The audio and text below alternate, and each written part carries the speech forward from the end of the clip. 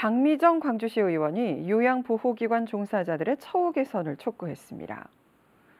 광주시의회 박미정 의원은 지난 10일 긴급 현안 질의를 통해 광주시 노인 돌봄 종사자에 대한 처우 개선 예산을 늘리고 복지 행정의 전문성을 확보해야 한다고 주장했습니다. 덧붙여 박 의원은 광주시의 적극 행정으로 요양의료기관 돌봄에 대해 공공성을 확보해야 하고 돌봄의 질 향상에 기여해야 한다고 말했습니다.